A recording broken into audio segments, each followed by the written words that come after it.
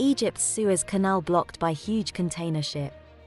Tugboats and diggers are working to refloat a giant container ship that has blocked Egypt's Suez Canal, one of the world's busiest trade routes.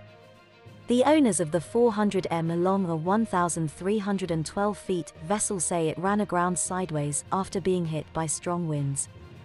Egypt says it has reopened the canal's older channel to divert traffic, amid fears it could remain blocked for days. The incident has already created long tailbacks on the waterway, stopping dozens of other vessels from passing. About 10% of global trade passes through the Suez Canal, which connects the Mediterranean to the Red Sea and provides the shortest sea link between Asia and Europe. The Ever Given, registered in Panama, was bound for the port city of Rotterdam in the Netherlands from China and was passing northwards through the canal on its way to the Mediterranean.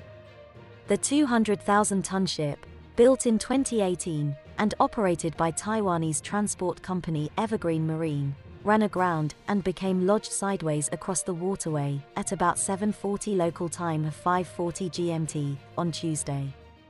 Experts warn the operation to move the Ever Given, which could include removing large amounts of sand from around the areas where the vessel is grounded, may take days. Nearly 19,000 ships passed through the canal in 2020, according to the Suez Canal Authority, an average of 51.5 ships per day. In 2017, a Japanese container vessel blocked the canal after it ran aground following reported mechanical issues. The Egyptian authorities deployed tugboats, and the ship was refloated within hours.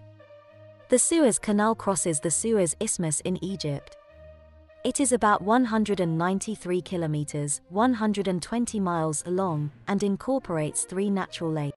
Thanks for watching Universal Information and Entertainment TV. Please like and subscribe our channel for more updated videos, news, information and entertainment. See you in next video. Stay tuned.